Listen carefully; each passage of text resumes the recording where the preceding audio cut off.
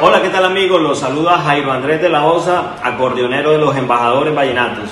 Y quiero extender la invitación para que nos acompañen a nuestro primer concierto virtual que se estará realizando el sábado 25 de julio a partir de las 8 de la noche. Allí vamos a interpretar todos los éxitos de los embajadores vallenatos. Ya saben, no se lo pueden perder.